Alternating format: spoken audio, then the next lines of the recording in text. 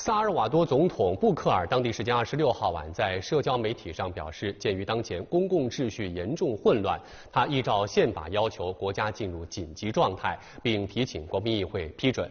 萨尔瓦多国民议会二十七号凌晨投票批准，即日起全国进入为期三十天的紧急状态。具体措施包括限制结社及集会活动、延长行政拘留期限等。布克尔二十七号说，在紧急状态下，宗教、体育赛事、商业及教学活动等正常进行。政府将适时宣布遏制犯罪升级的新措施。萨尔瓦多近期涉帮派暴力的社会治安案件激增。